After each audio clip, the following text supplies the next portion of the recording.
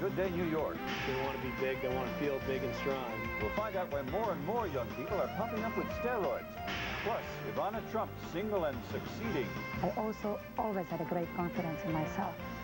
And, and I knew that I would be able to support myself. Tomorrow on Good Day New York, right here on Fox 5.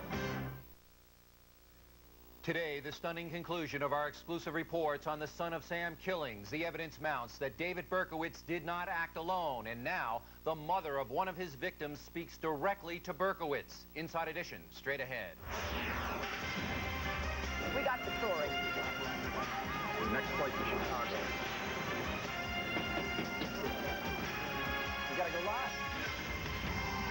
Today, more startling secrets revealed by David Berkowitz.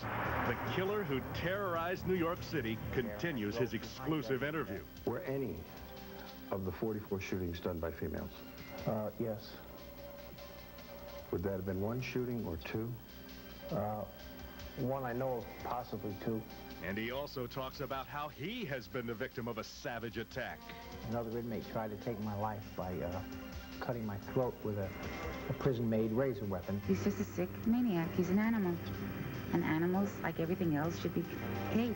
Today, a victim's mother pleads with Berkowitz to tell her who murdered her daughter. I just want her killer. That's all I've ever, ever wanted. Two, one.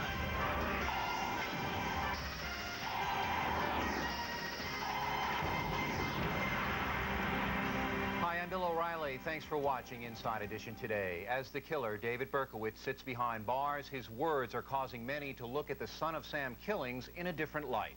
Over the past two days, Berkowitz has told Inside Edition that he did not act alone, that others were involved in the murders of six young people.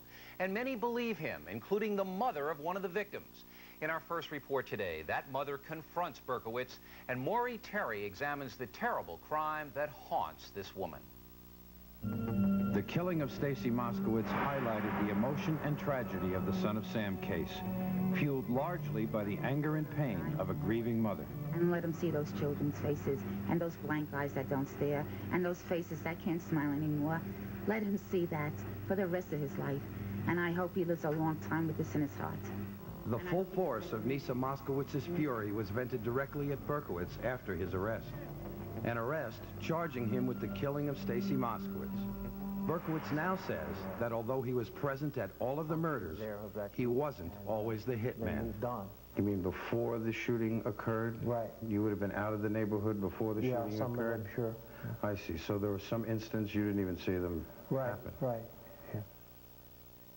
He says a case in point was the murder of Stacy Moskowitz and the blinding of Robert Violante in the last Son of Sam attack in Brooklyn. There is strong evidence to support his claim that he was not the gunman in this shooting. First, a young man named Tommy Zaino was parked directly in front of the victims and watched the attack in his rearview mirror. He described the gunman as having messy blonde hair and a light gray shirt that was out of his trousers. Uh, he was in, he looked like he was in good shape. Because after he fired the shots, he took right off it, back into the park fast. Do you believe it was David Berkowitz who pulled the trigger that night? I didn't believe it was him then, and I don't believe it's him now. Why? Because of his shape when he took off and ran. And then a week later, we seen David Berkowitz, and what he looked like, I don't think he was physically capable of doing that. This is the sketch police drew from Zaino's description, but it was never released to the public, even though cops describe Zaino as their best witness in all the Son of Sam shootings. And also, there's the issue of the parking ticket, which Berkowitz received at the scene. According to the statement of Cecilia Davis, a resident in the neighborhood, Berkowitz could not have killed Moskowitz because of that citation. No, he couldn't because I seen him taking off the ticket. He was still watching the police officers giving the rest of the cars tickets, and he followed the police officer.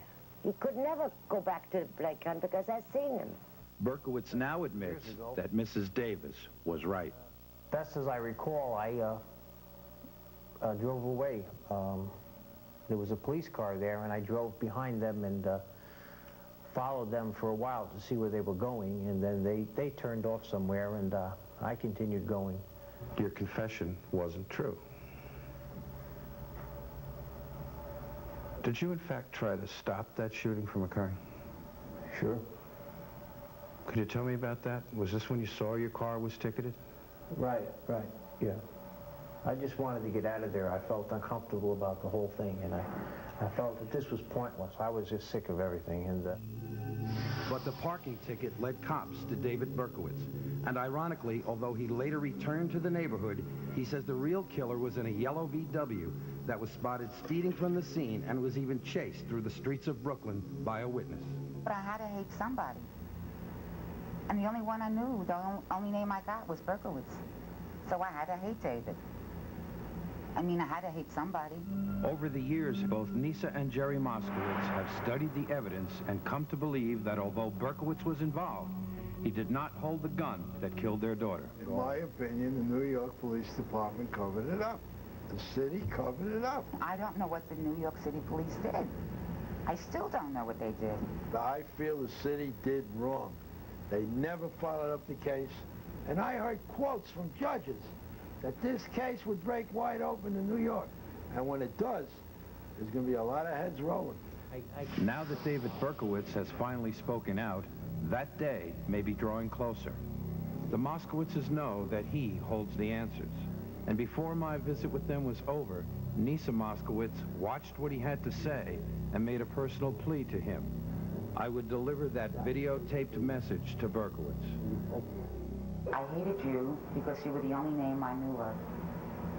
And I had to put my hate somewhere. You're not the same person I saw 16 years ago. You talk differently, you act differently, and your mannerisms are... Well, you're not the same person. I just want her killer. That's all I've ever, ever wanted. If I thought you were the one, then I wanted you. And since I understand that you are not the killer, there's something in my power I wouldn't do to have you say his name. Do you have anything that you'd like to say to Mrs. Moskowitz, David? I just want to say that I'm very sorry that all this happened, and my heart truly goes out to her as well as all the other people, none of whom I I knew, and I was just a fool to uh, listen to the devil, and uh, I wish I had uh, sense enough to walk away from uh, what I should have walked away from a long time ago, and I just pray for those that were hurt by the Son of Sam shootings, that, that uh, God continues to heal their, their lives, and it, the survivors, that God continues to reach out and help those people. I pray for them. And, in Christ's name, I pray for them. Berkowitz was obviously moved by the message of Neysa Moskowitz, but he insisted he was unable to give up the name of Stacy's killer at this time, again citing fears for his own family safety. Nevertheless, I believe that this case can finally be solved. Berkowitz has provided enough solid information to confirm what has been probed for years. That is, that he was not the lone son of Sam Killer. He has given up the names of accomplices who are no longer living and has provided strong leads to the identities of those who are still out there. It is both heartbreaking and frustrating for Mrs. Moskowitz not to know more. And in our next segment, we will push Berkowitz to reveal more about his alleged cohorts.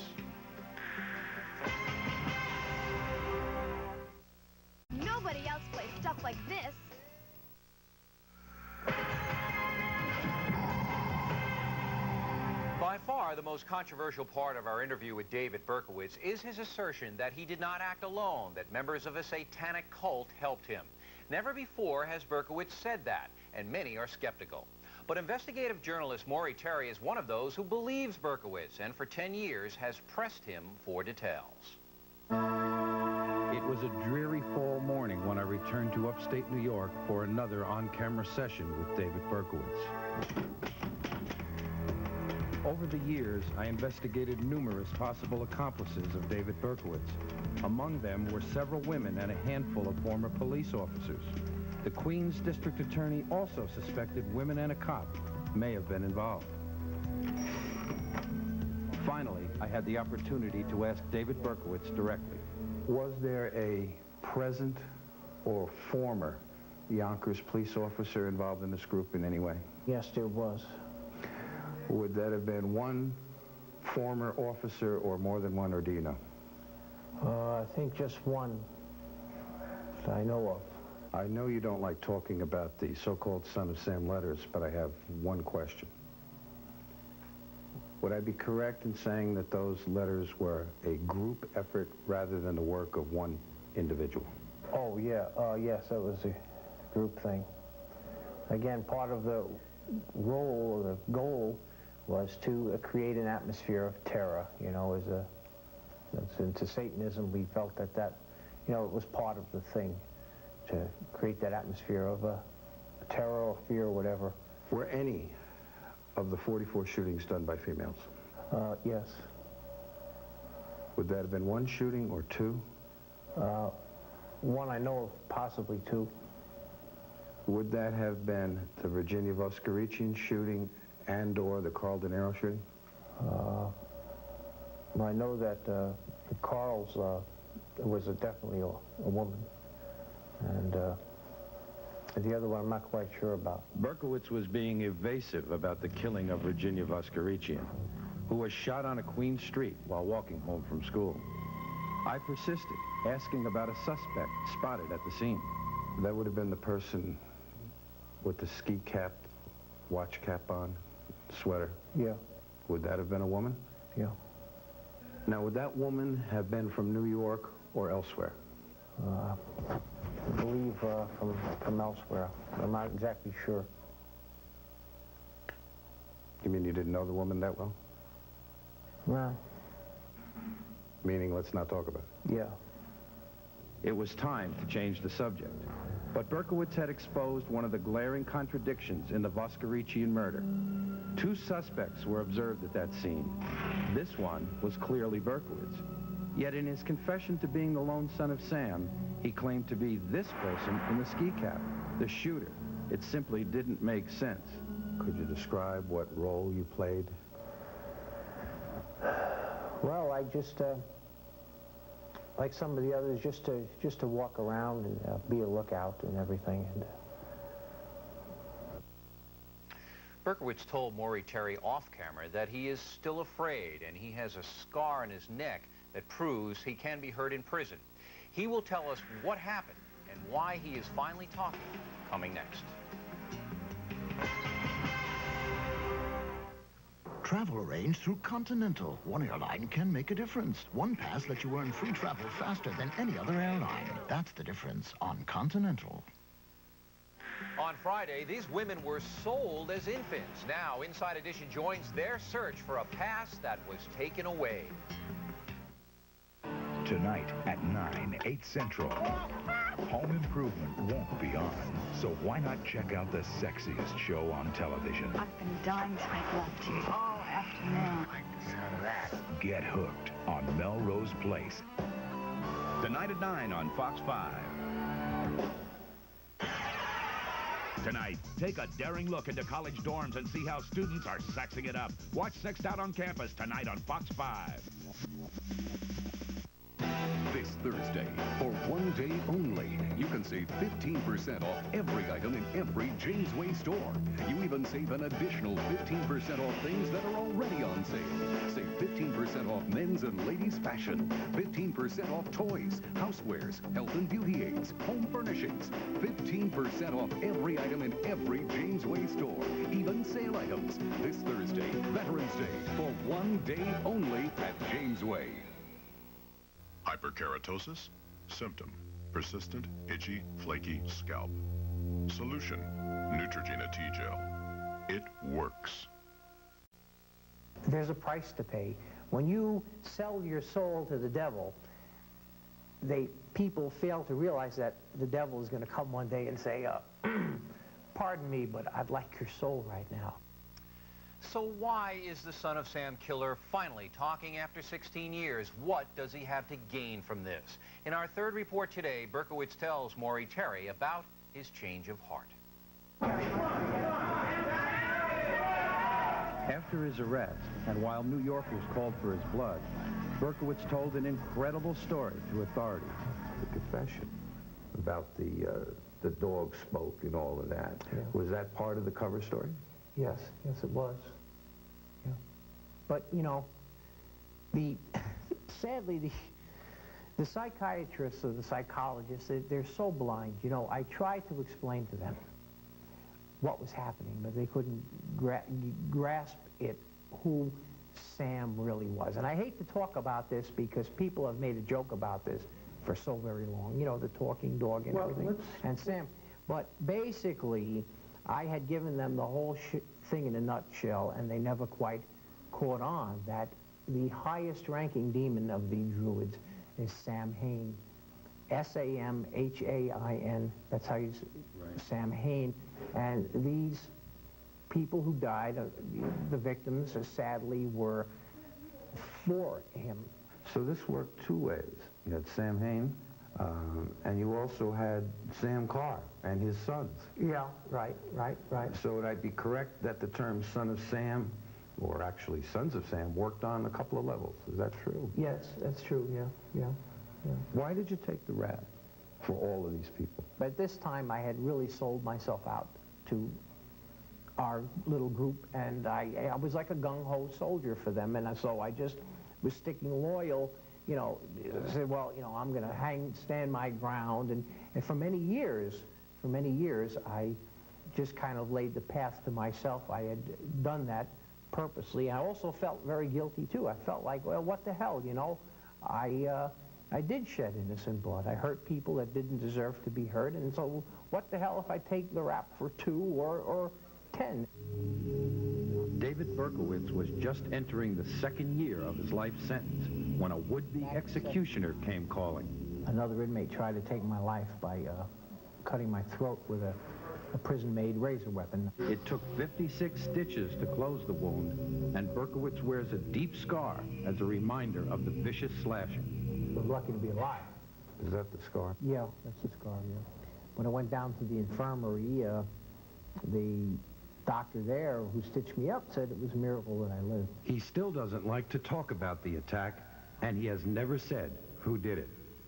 Berkowitz says he fought the influence of Satanism until the late 80s, when he found God. I don't think that if I would, uh, if I would have still been out there, I probably would have died, just like the Carr brothers, just like others.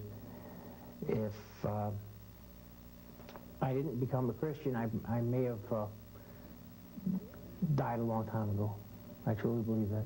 Berkowitz had flirted with Christianity several times in his life, but he says his true conversion came in 1988, when a fellow inmate gave him a pocket Bible to read. The words began to seem very, very real, you know, in other words, as if God, God were talking to me, you know. It says, uh, this poor man cried, and the Lord heard him and saved him out of all his troubles.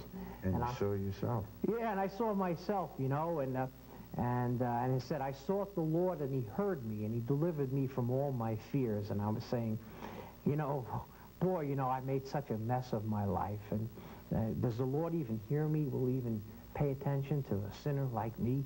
And uh, but one day, and I even forgot where it was. I was reading a passage of Scripture, and the words just touched my heart so much that I I started to just kind of break down and, and cry. I started reading my Bible, and Jesus set me free.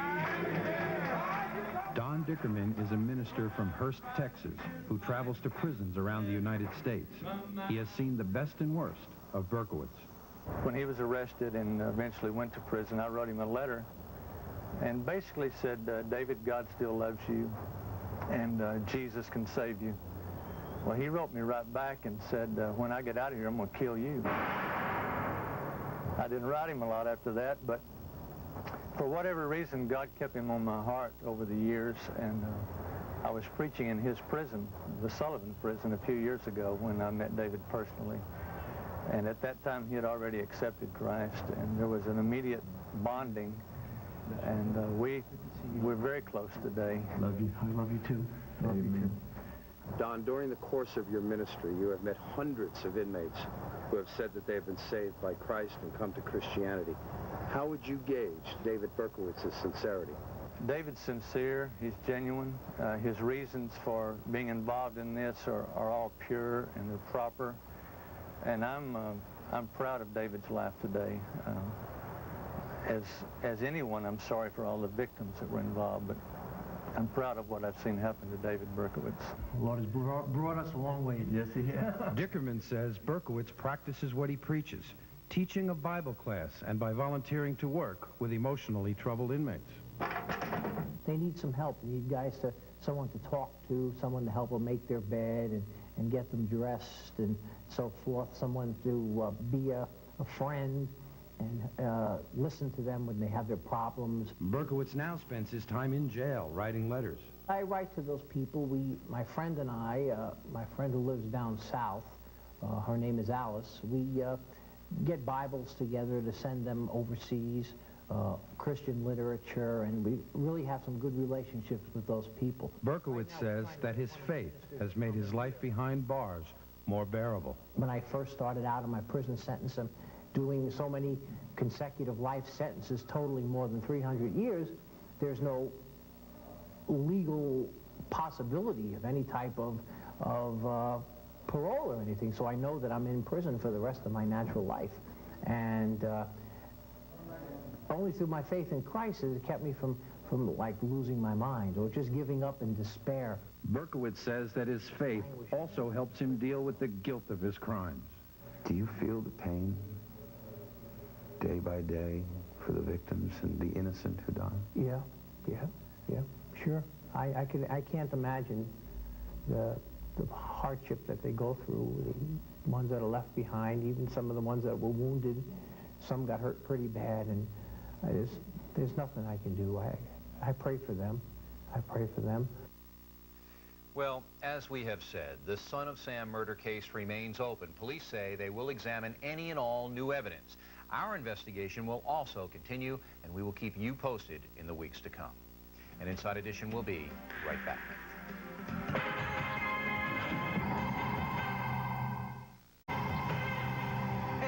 And here's what's upcoming on Inside Edition. They think nothing of doing this with tax dollars. Would you pay 156 bucks to ride two blocks in a car? Guess what? You already did. Inside Edition exposes bureaucrats taking you for a ride. I was real late for the meeting. You're late for a meeting? Could I ask who you are, sir? Inside Edition's Steve Wilson confronts public servants treated like fat cats. Do you know what it costs to have that driver sit around and wait for you? Buckle up for a trip down Squander Street. That report and a lot more tomorrow. And that is it for us today. We hope you have enjoyed Inside Edition. I'm Bill O'Reilly. Thanks again for watching us. We'll see you next time.